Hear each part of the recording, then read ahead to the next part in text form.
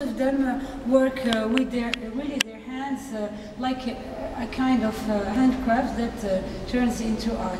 So this is Tibari Kantour. He lives uh, in Morocco in the Atlantic side. And another one who lives in Beni Mellal, really in the heart of Morocco.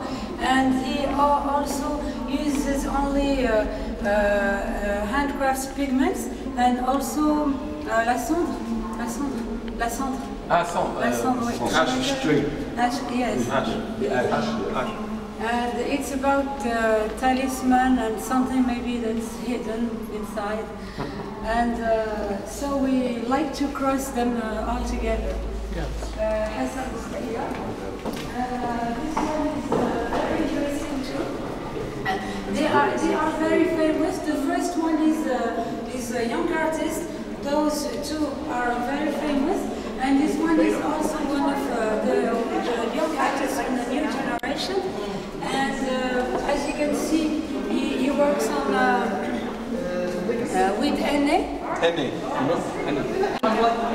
Henny. Hindi, hindi. Uh, on uh, on uh, sheep, uh, la, la peau de mouton. La peau de mouton, the, uh, the leather, the, the, the, uh, the goat skin. Well, donc uh, it's all traditional too, but uh, in a contemporary way. And here we have uh, uh, an artist from Senegal. Uh, I, I, I forgot to tell you the name, Albi Sharqawi. He lives in Marrakesh.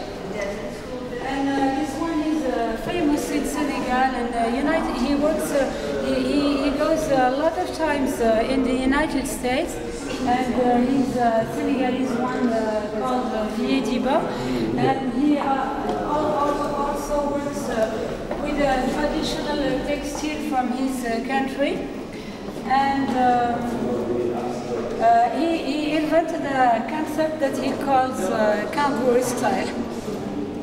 Uh, Vous pouvez l'appeler ça. Ah, kangourou. Because he's also a teacher.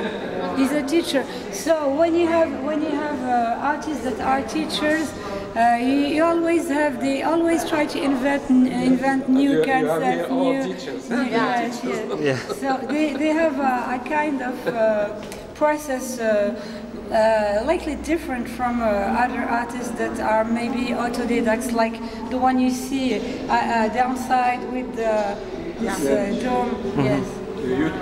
Youth. Yes, uh, this one is very, he has a, a very amazing story. The, the huge you, you saw the- there, he, he was, um, uh, yeah, bon, je vais dire en français, il était berger. Il était berger. I was a pastor. Yeah. In Burkina Faso. Burkina. Ashika. Yes, he didn't know how to, he don't know writing. Yes, go ahead, yeah, just try. And uh, now he lives in Paris, and uh, he begins to to be famous. He be, I mean, he begins to, to be famous. But uh, what I, I, I, this is one of my favorite artists because he was there for four or five days waiting uh, for uh, uh, the material to come, uh, you know, the plastic and the textile, etc. And he was very, very, very patient because uh, there was a kind of uh, uh, late in in uh, in uh, production uh, the, the and he uh, moved from this place until the hut was uh, built, built up, and it was a really uh, kind of uh, lesson of. Uh, La leçon de sagesse, you know? Wisdom, wisdom, wisdom. for, for all together because we were very stressed and he, he was very patient and he had what he, what he wanted to, to, to make there. And uh, I'm very proud of this That is also part of the exposition.